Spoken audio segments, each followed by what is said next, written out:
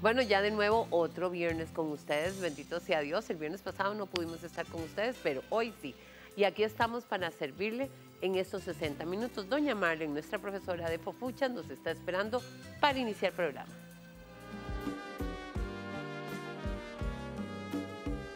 Muy buenos días amigas, bienvenidas a este su programa Mujeres del 2000, hoy con una idea totalmente diferente en cuanto a las fufuchitas. Me habían estado pidiendo este, bebitas, entonces por acá les presento una bebita fufuchita. Hoy vamos a realizar lo que es el cuerpito. Vamos a, empezar por indicarles el tamaño de la medida del cuerpito, que va a ser una esferita de dos. Acuérdense que la para el cuerpo es de dos, número dos. Y tengo por acá ya adelantado lo que es el calzoncito, vamos a necesitar dos círculos, uno más grande que el otro y le hacemos un orificio en cada uno. Luego vamos a necesitar otro pedacito que va a ser la blusita, la parte del cuerpo, sus manitas y lo que va a ser ya acá el asunto de lo del pelito. Vamos a iniciar con lo que es el cuerpo. El cuerpo siempre ustedes van a notar que tiene dos pincitas. Esas dos pincitas yo voy a colocar acá un poquito de silicón para que me vaya formando el cuerpito.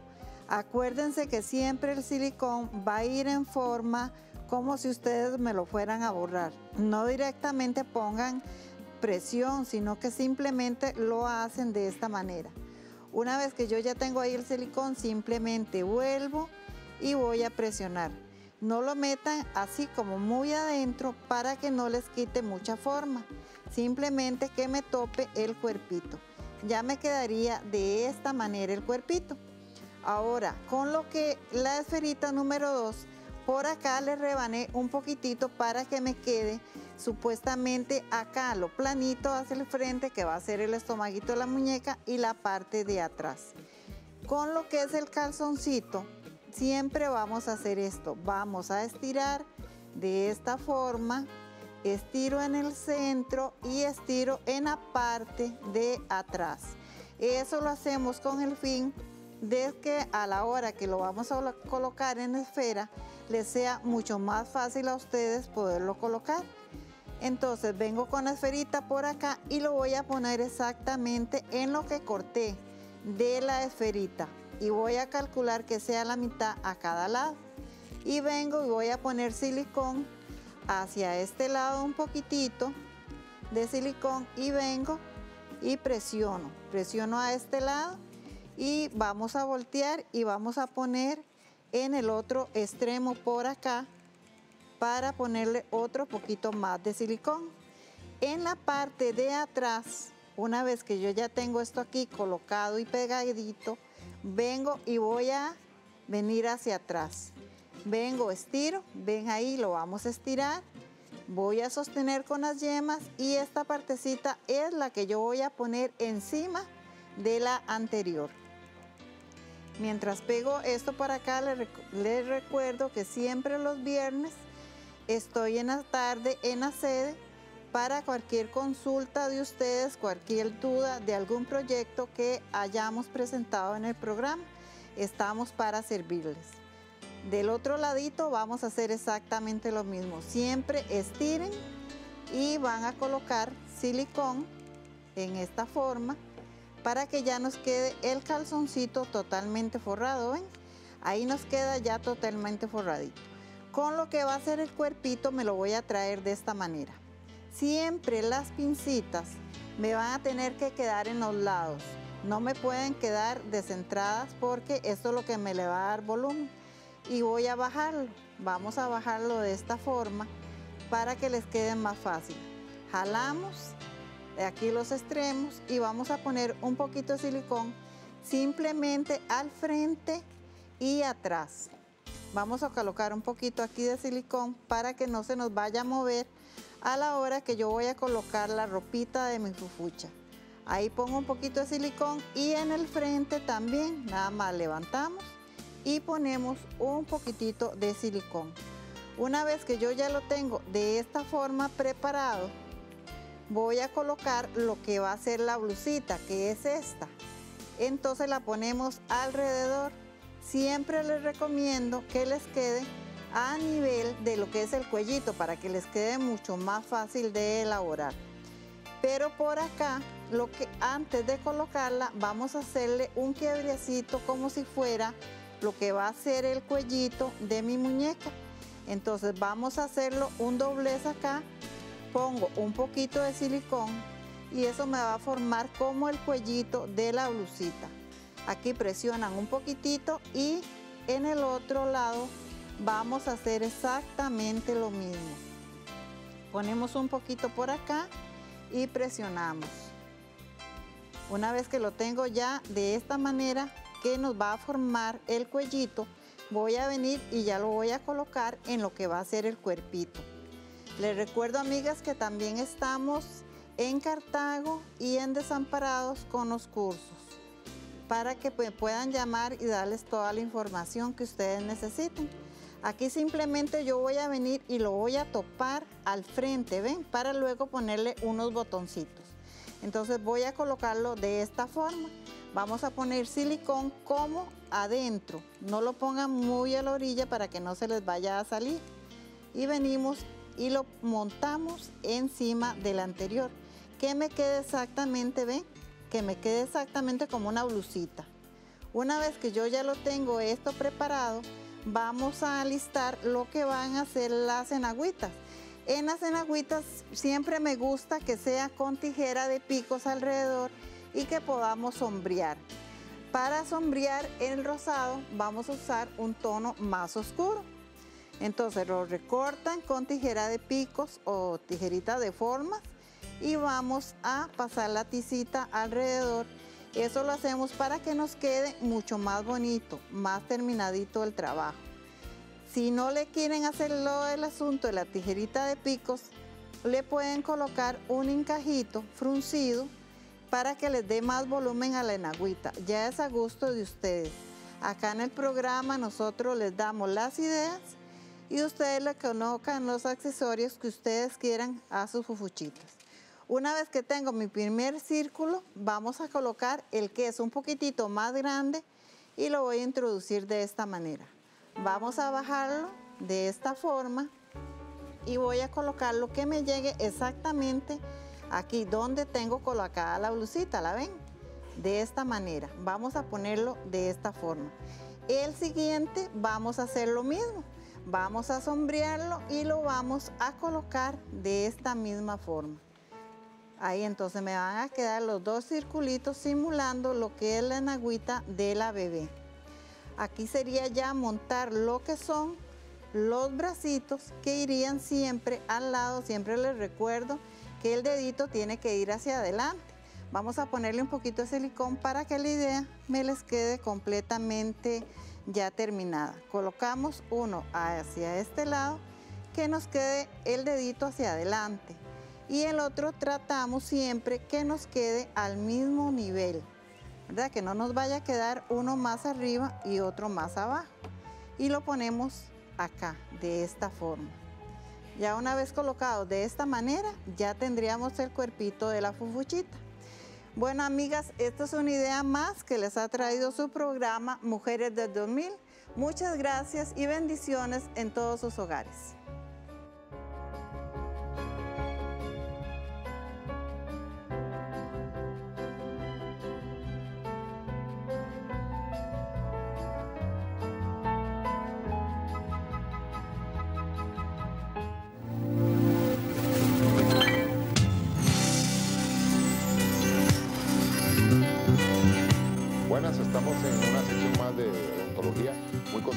Ustedes.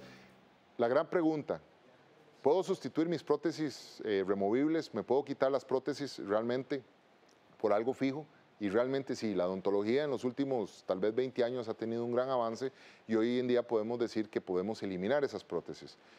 Y de una manera muy simple, muy sencilla, donde podemos rehabilitar. Todos aquellos pacientes, y yo hablo de aquellos pacientes que de verdad eh, de una manera tal vez ingrata o de una manera eh, errónea, les quitaron sus dientes cuando tenían 12, 13, 14 años.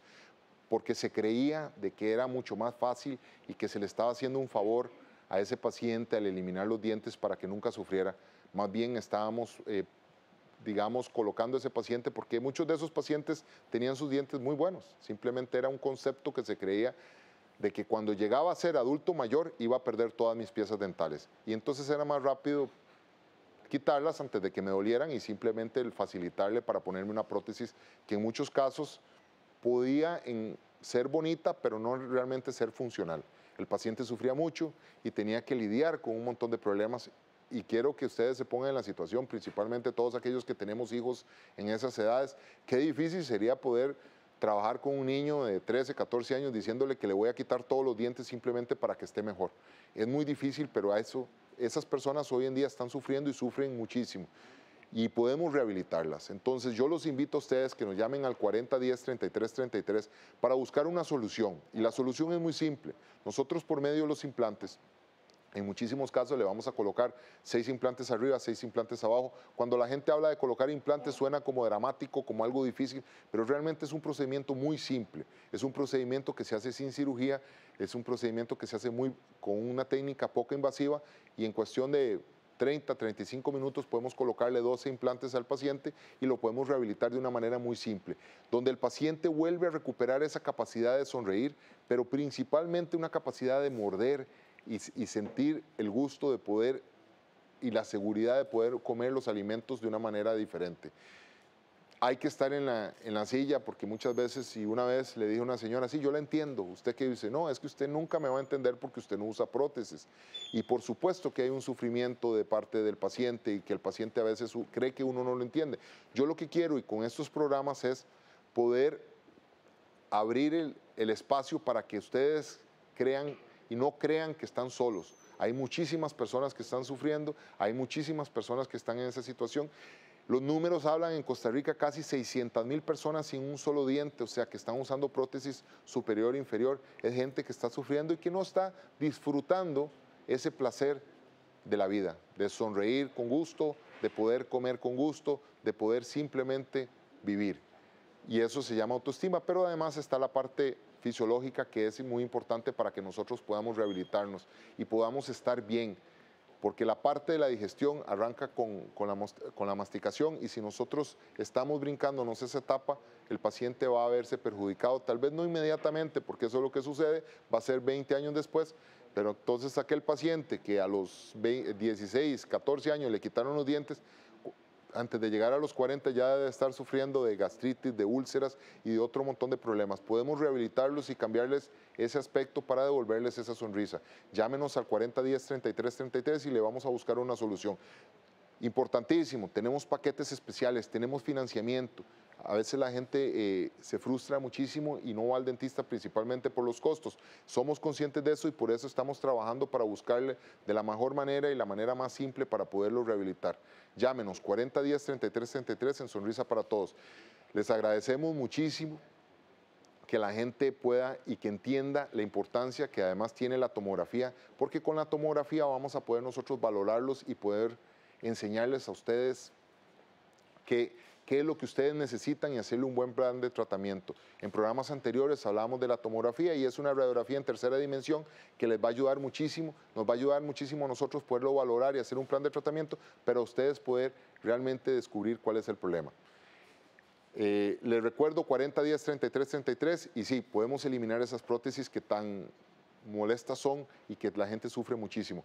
Preguntémosle a nuestros padres, preguntémosle a nuestros a nuestros abuelos, si están sufriendo con eso y si lo tienen.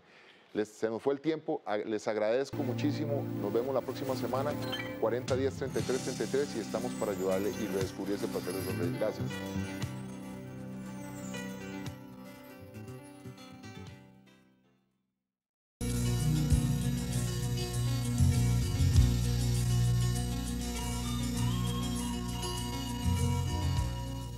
Bueno, quiero recordarles las fechas de los próximos cursos a iniciar en el mes de mayo. Está el curso de uñas de diseño y de moldeado de uñas. Son dos cursos diferentes y se van a estar impartiendo los días lunes y, sábados. Así que entonces para que usted solicite más información y detalle de estos cursos, puede pedir, eh, solicitarla al 22 23 48 80. Ahora bien, si usted lo que le, eh, le gusta es la decoración de queques, Doña Mónica ya pronto termina el primer grupo de básico y va a iniciar un segundo grupo ahora en mayo. Usted puede iniciar este curso junto con ella en la sede de Mujeres del 2000.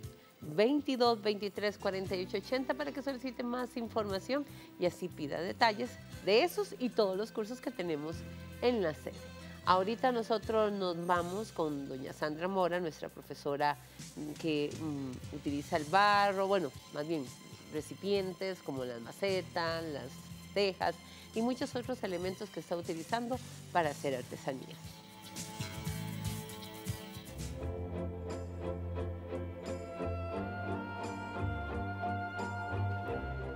Hola amigas, ¿qué tal? Bienvenidas otra vez a su segmento de Mujeres del 2000. Aquí vamos a seguir continuando con la, con la tejita que habíamos empezado. Entonces, este, eh, realmente como yo hice la ventanita, la primera, entonces vamos a hacer el resto. Eh, acuérdense que yo tengo los, este, yo le saco a cada uno sus, sus, moldecitos, entonces em, nada más los cortamos, los presentamos y hacemos conforme viene cada, cada, cada molde. Entonces, nada más que yo aquí, para que me, quedara este labradito, entonces con esta pincita yo nada más aprieto y empiezo a darle mordisquitos para que me quede completamente este acabado. El hornito, el hornito simplemente hice un círculo, aquí se los voy a mostrar para que ustedes vean. Este, cogí un círculo y nada más yo lo corto aquí como, como haciéndolo más pequeñito, voy a marcarlo aquí lo marco aquí y aquí me va a quedar. Entonces, con agua, yo simplemente voy a quitar aquí los excesos, lo voy majando con los dedos igual, haciéndolo más delgadito y es el que vamos a presentar aquí. Como le hice en lo que es el hueco del, del fogón, simplemente aquí lo majé con esta piecita, le damos aquí vuelta y nos va quedando el fogón. Igual para que me quede en forma de piedra con la pincita voy a ir marcando aquí, lo voy haciéndole pellizquitos y hacemos lo que es el fogoncito. Eso para que ustedes, cualquier, si tenían alguna dudita, sepan cómo es que lo vamos a lograr. Ahora, ¿qué voy a hacer? Voy a hacerles el árbol. El árbol a esta teja, entonces, ¿qué voy a hacer? Yo quiero marcar el árbol desde aquí. Entonces, voy a poner suficiente goma yo voy a pasar el árbol por encima del techo. Entonces vamos a aquí a publicar bastante gomita y yo lo voy a tirar por aquí. Pero ahora aquí yo quiero hacerlo en tres divisiones. Entonces voy a marcar aquí con goma, con el pincel uno y voy marcando aquí otro. Vamos a ver cuántas me van a ir saliendo. Ok, entonces ahora yo tengo aquí un choricito que ya lo he ido este, marcando. Lo voy a recortar aquí, lo voy a presentar aquí, voy a ir majando de una vez el tronco y lo voy a presentar aquí. Ok, aquí y lo voy a marcar aquí. Ahora aquí lo voy a cortar. Vamos a hacerle las divisiones. Entonces voy a cortar aquí, que me salga uno. Voy a hacer otro aquí. Me van a salir tres. Entonces, este yo lo voy a hacer hacia acá. Vamos a untarle goma para que me pegue. Este lo voy a tirar hacia aquí. Lo voy a ir majando. Este otro lo vamos a ir quitando aquí. Lo voy a tirar aquí en el centro. Ok. Vamos a poner esto aquí. Lo voy a hacer aquí así. Lo voy a ir majando. Voy a majar este otro quito el exceso que me queda. Y ahora sí vamos a marcar lo que es el tronco. Entonces, vamos, aquí lo tenemos que ir presentando bien. Vamos a hacerle primero lo que son las raíces. ¿Cómo le voy a hacer las raíces? Voy a marcarle aquí. Cuando se nos pone muy seco, entonces nada más cogemos un poquito de agua y listo, no pasó nada. Ok, aquí tenemos la raíz. Ahora, voy a ir marcando hacia arriba. Voy a hacer el, árbol que se vea que no se vea liso, sino que se vea poroso. Vamos a ir marcándolo aquí, toda esta parte de así. Y vamos a empezar a hacer lo que es el follaje. Ok, entonces ahora, pero yo no quiero que el árbol me quede muy sencillo, entonces, ¿qué voy a hacer? Voy a darle vuelta aquí para que ustedes puedan apreciar. Voy a poner esto por aquí. Voy a coger, es, un palito, lo que tengan a mano, así sea, bueno, yo tengo ese pinchito, pero puede ser con un lápiz o lo que tengamos a mano. Y le voy a hacer unos huequitos al tronco, como lo hicimos la vez pasada. Y lo voy a ir majando. Aquí voy a volver a hacer otro. Y lo vamos aquí. Lo vamos a ir haciendo como irregulares, que no se vea muy seguido, nada más así. Ok, entonces terminamos lo que es los tronquitos. Entonces ya el tronco se ve diferente. Ahora, voy a hacerle, primero que nada, antes de hacer el follaje, le voy a hacer unas piedritas que están en la parte de la raíz. ¿Cómo voy a hacer las piedritas? Nada más, hago un círculo y lo majo aquí. La vamos a poner aquí suficiente goma y lo voy a presentar así. Así. Lo vamos a hacer varias piedras. Ahora, le voy a hacer como vamos a hacer el follaje. Aquí por, por tiempo lo vamos a hacer nada más así para que ustedes puedan ver cómo lo hacemos y ya ustedes en su casita lo pueden ir planeando. Amigas, no se les olvide que voy a estar, que yo estoy los martes en la sede de 9 a 12. Todos los martes estoy ahí. Estoy en Cartago y también en Desamparados. Ahora, ¿cómo vamos a hacer el follaje? Yo voy a hacer aquí primero este. Ponemos suficiente goma, acuérdese. Hago simplemente una bolita y la voy a pegar aquí. Ok. Aquí, así lo vamos a pegar.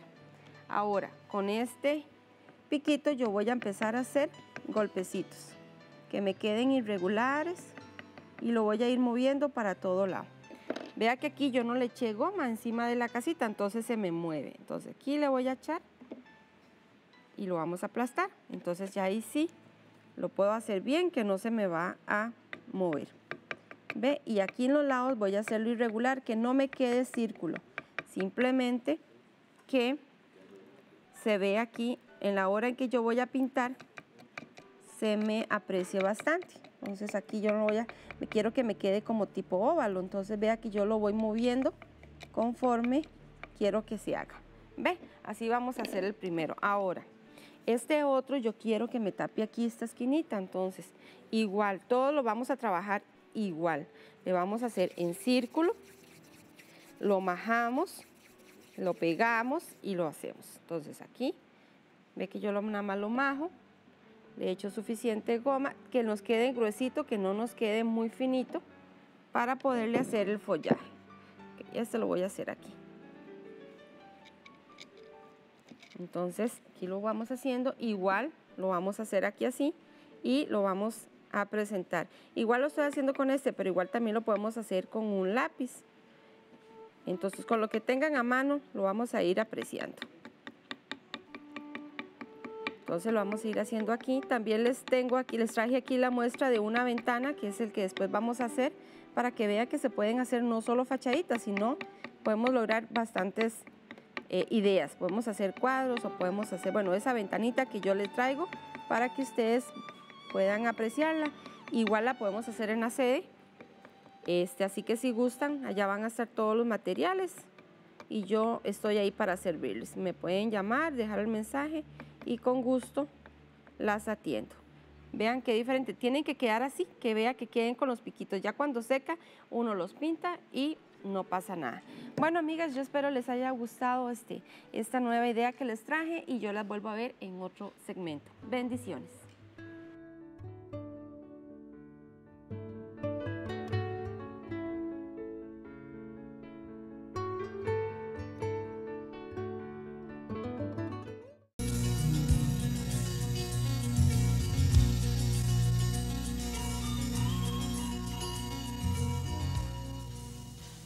Acaba de poner en sintonía.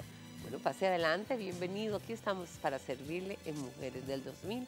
Ya han pasado algunos segmentos, pero todavía falta mucho más de este programa que usted no se puede perder.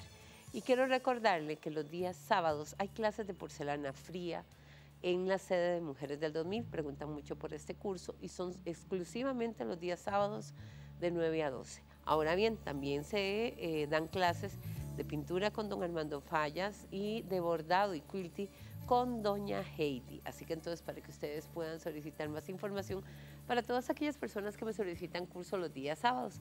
Esa es la oferta que les tenemos a ustedes y por supuesto de lunes a viernes tenemos también una serie de cursos que usted no se puede perder.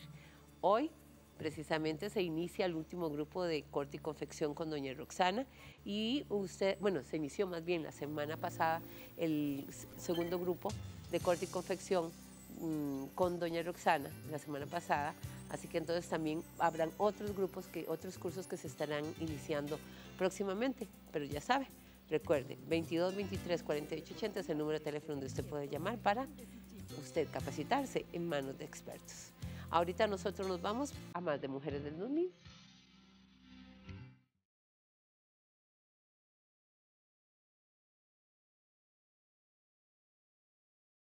Hola amigas, bienvenidas a esta sección de lencería en su programa Mujeres del 2000. Hoy dándole continuidad al traje de baño infantil Vanessa, que lo estamos trabajando a petición de una amiga televidente que nos escribió para que le enseñáramos a confeccionarlo para la nieta. Bueno, ya habíamos trabajado lo que era la parte de arriba, ¿verdad? Este, les recuerdo que habíamos unido licra con forro, con zigzag por todo el contorno. Aquí lo tenemos ya trabajado con lo que son los vivos. En este caso trabajamos vivo elástico, ¿verdad? Trabajamos las tiritas. Estas serían las tiritas postizas, las del centro. Quiero que vean acá, está forradito, ¿verdad? Porque aunque sea para una niña, hay que forrarlo. Este fue el paso de la semana pasada. Vamos a hacerlo a un ladito y vamos a trabajar lo que es el bloomer, que es muy sencillo. Lo tenemos eh, cortado, el forro y la licra. Vamos a hacer piquetitos en la parte de la entrepierna, en la parte de la cintura, arriba, piquetito y piquetito en la licra también, en la parte trasera de la misma forma. Van a ver qué sencillo que se alinea este traje de baño por medio de los piquetitos. Los piquetitos es para darle aplomo a la prenda, que no nos vaya a quedar torcida y que no se vaya la prenda a acomodar mal en el cuerpo cuando se la ponen. Estos piquetitos son muy, muy importantes. Entonces, tenemos la parte trasera de licra, la parte delantera de licra. De esta forma, piquete con piquete. Y vamos a montar encima de la parte delantera, la parte delantera de forro, piquetes con los piquetitos, ¿verdad? Acomodándolo y encima vamos a colocar la de forro trasero de esta forma. Acá lo vamos a coser. Voy a poner los alfileres atravesados para poderle dar vuelta porque yo traigo ya uno adelantadito.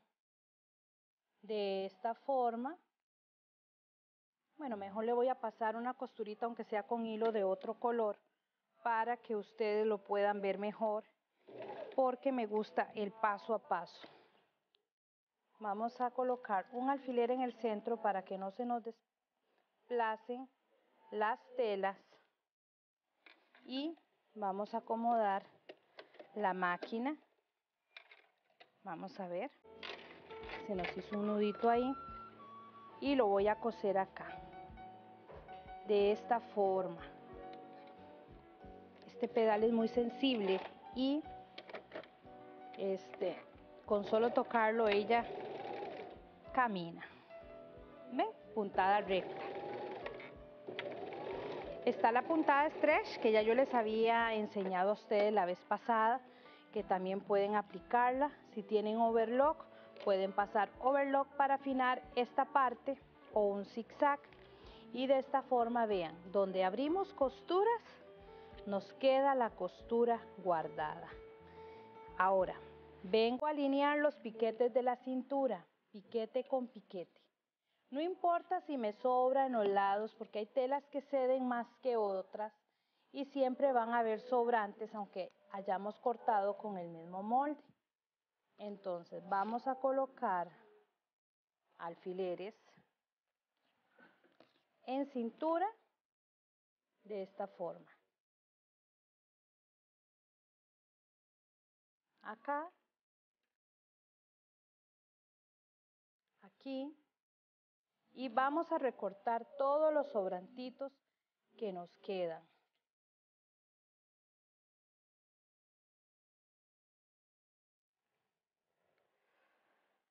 De esta forma. Lo voy a voltear al derecho. Y aquí yo le voy a dar el ancho que yo desee a la entrepierna dependiendo la edad de la niña, puede ser de 5 a 7 centímetros. Le damos lo que es el marco de la pierna de esta forma. Mucha gente me ha preguntado sobre esta tabla y la cortadora que yo utilizo acá en el programa. Yo no vendo estas herramientas, estas las consiguen en la sede de Mujeres del 2000 Ahí están a la venta. Las pueden encontrar. Hay diferentes tamaños de cuchillas, diferentes tamaños de tablas para que se les facilite lo que es el corte, el corte de las prendas.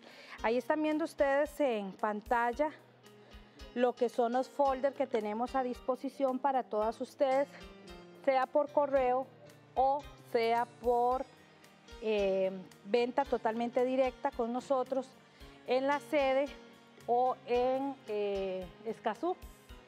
Todo lo que son los folders de diferentes tamaños, ahí los pueden conseguir con nosotros. Recuerden que esos folders son adaptables a cualquier máquina, sea casera, sea industrial, las negritas, las cover, en fin, usted las puede este, poner en cualquier máquina. Así que ya tenemos esto, yo no le voy a pasar el zigzag porque yo traigo uno totalmente adelantado. Quiero que lo vean acá. Esta piecita ya la traemos lista. Ya le pasé yo lo que fue el zigzag. Quiero que lo vean, que es el zigzag para afinar, el que les expliqué en la clase de la vez pasada. El zigzag para afinar, licra con este forro y luego vine a colocar lo que fueron los vivos de la pierna. Ahora, este, hay dos formas de trabajar esta tanguita y se las voy a explicar por si desean trabajarla. Pueden dejar acá libre las tiritas de costado de una vez como trabajamos el top y salen con la otra tirita de costado y luego las tiritas de costado de eh, la parte de la cintura. Esta que está acá es diferente, quiero que la vean. Ella lo que trae es un canal donde pasa el cordón. ¿Lo ven? Acá. Este es el que vamos a trabajar en el programa para que ustedes sepan cómo es. Recuerden mi número de teléfono 8720-5656, mi página de Facebook, Escuela de Lencería o Ania Herrera, son dos páginas. Em, otra cosita también importante que sepan es los cursos en la sede. Así que comuníquense por WhatsApp, que yo les doy toda la información del curso de ropa deportiva y el de pijamas, que está por iniciar módulos. Para mí ha sido un gusto haber estado con todas ustedes. Regreso con Atanga para darle el acabado en el siguiente programa. Dios me las bendiga y nos vemos.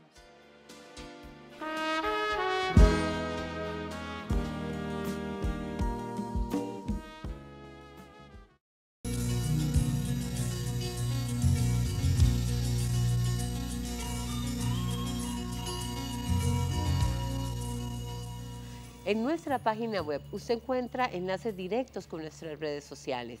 También encuentra nuestro canal de YouTube, donde usted va a poder disfrutar de los programas que se han emitido anteriormente.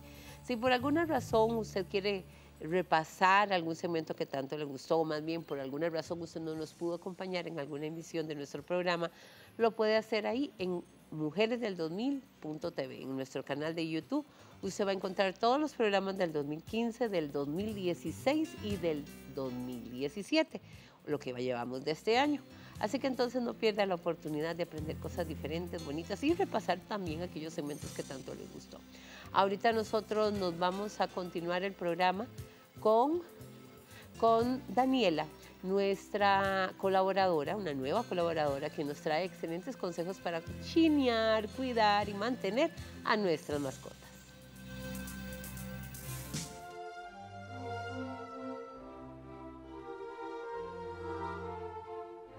Hola amigas, estamos una semana más para comentarles sobre los cuidados que deben de tener con los animales en casa.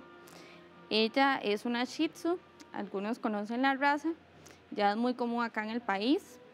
Y pueden conocerla por acá de manto largo para la mantención. y normalmente las tienen de pelo corto. Vamos a explicarles los usos de los cepillos que debemos utilizar para la mantención de ellos. Entonces por acá ves el pelo más largo, vamos a abrir el pelo y vamos a ir cepillando con un peine, si me ayuda, para extraer los nudos.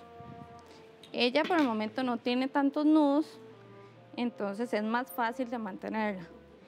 Es recomendable realizarlo diariamente el cepillado para la hora del baño.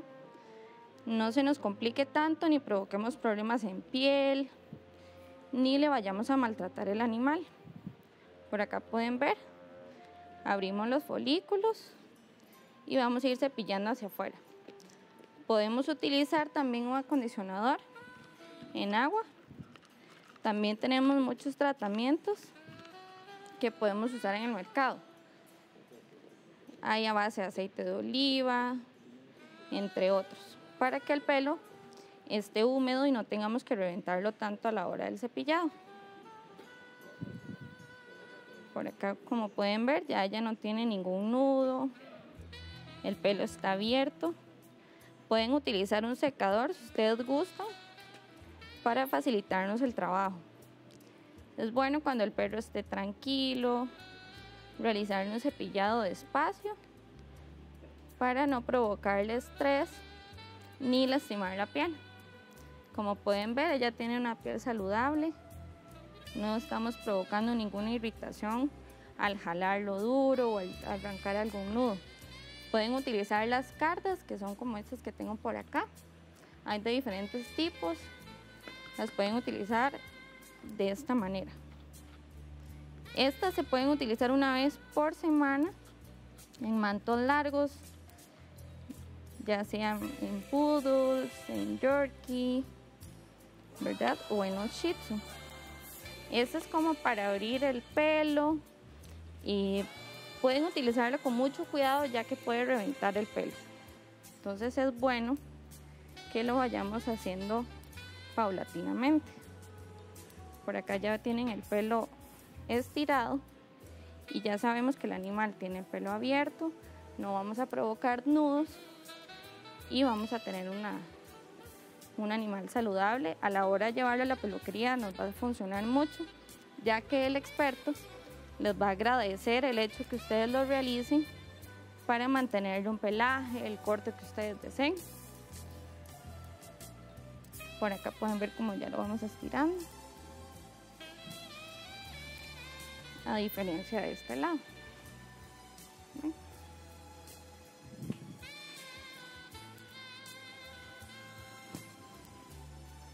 Así es como debemos de tener. Pueden hacerlo viendo la televisión, relajados en casa, para no provocarle ningún estrés al animal. La próxima semana volveremos con más consejos. Muchas gracias.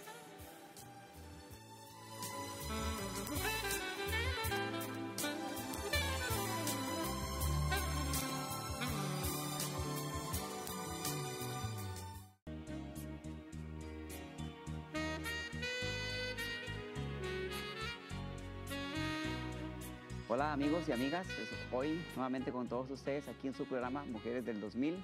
Me encuentro este, pintando un cuadrito en este momento que lo hice especialmente para ustedes, ¿verdad? Que se llama El Árbol.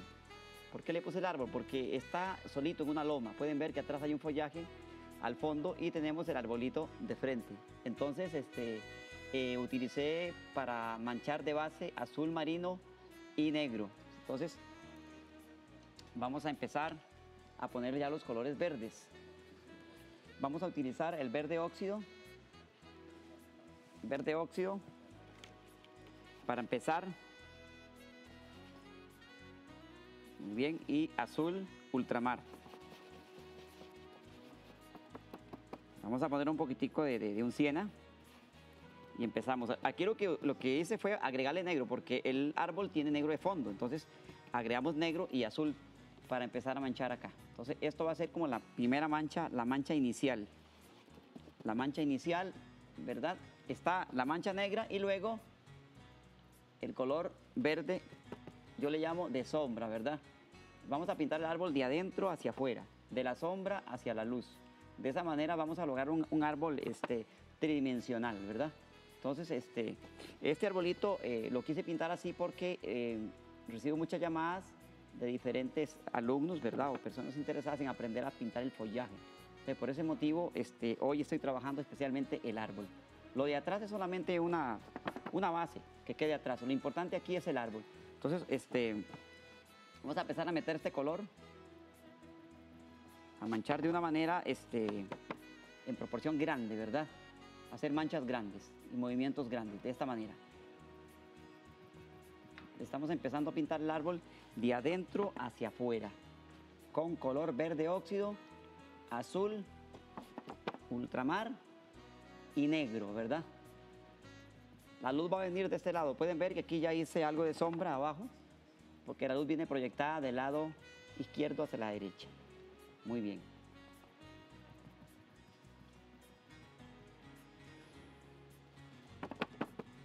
Acá puedo meter un poquito más el verde puro, que no sea tan con tanto negro, porque de ese lado viene la luz, está la luz.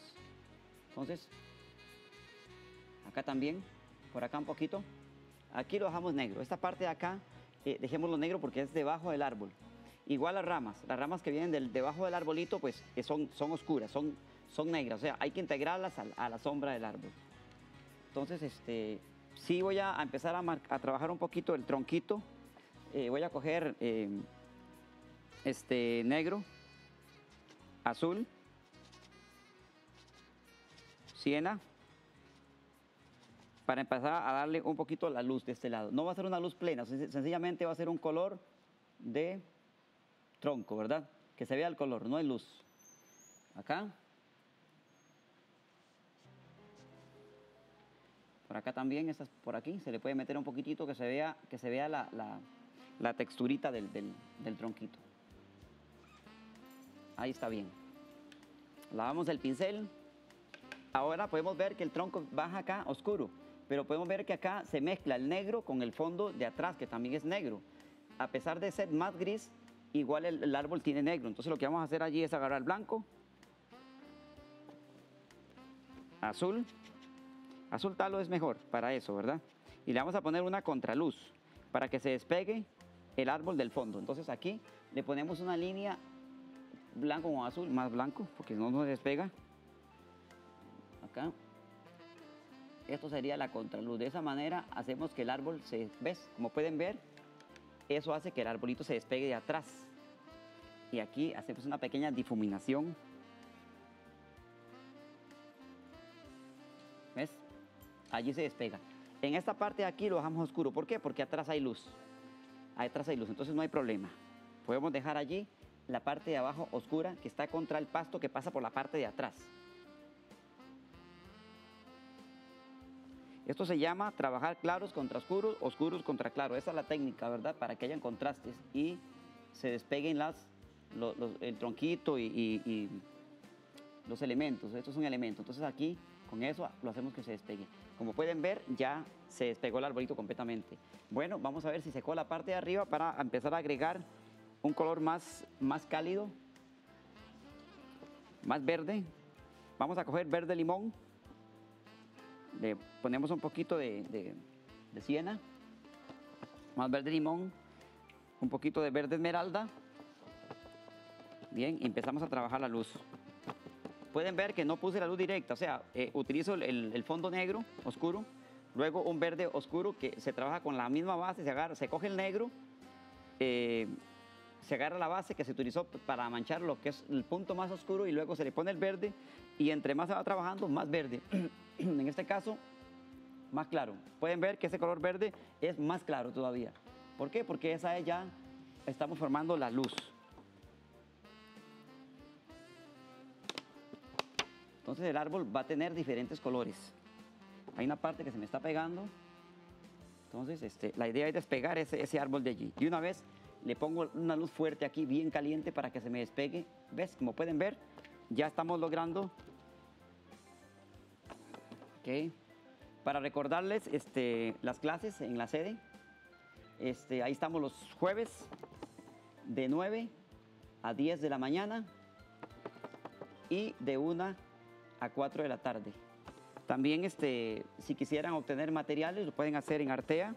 En Artea pueden conseguir, como pueden ver, este lienzo que tengo al frente, que es de la marca Artea. Excelente calidad. Allí pueden adquirir ese lienzo y todos los materiales. Seguimos manchando. Vamos a meter por partecitas para darle y darle ir dando movimiento a este árbol que se vaya viendo frondoso, ¿verdad?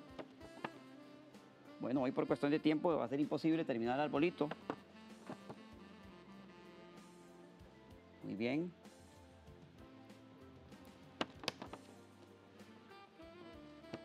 Ok, por aquí llama menos. Recordemos que aquí está la sombra, entonces ese lado no se toca, hay que dejarlo así. Bien. Ahí está. Cualquier consulta me pueden llamar al teléfono 8703-1325. Próximamente, si Dios lo permite, este, habrán clases también los sábados en la sede de Mujeres del 2000. Allí estaremos también los sábados impartiendo clases. Y quiero aprovechar un momentito para felicitar a mis amigos que van a participar en Holanda, si Dios lo permite, dentro de cinco meses.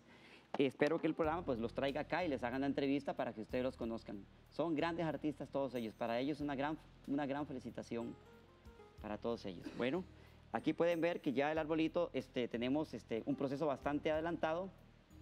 Eh, vamos a meterle un poquito de luz abajo. El tiempo se nos está yendo. Solo una gotita de luz, como pueden ver aquí, este, se marca muy bien la sombra. Cuando pasa eso es porque aquí tiene que haber luz. Muy bien.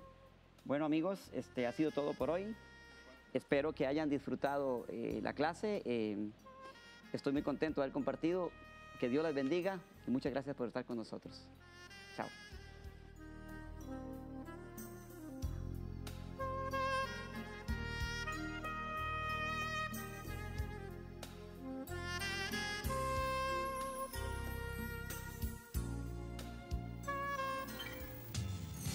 Bueno, ya hemos llegado al final de nuestro programa, a don Armando y así a cada uno de nuestros colaboradores. Muchísimas gracias por habernos acompañado. A usted también durante todos estos días.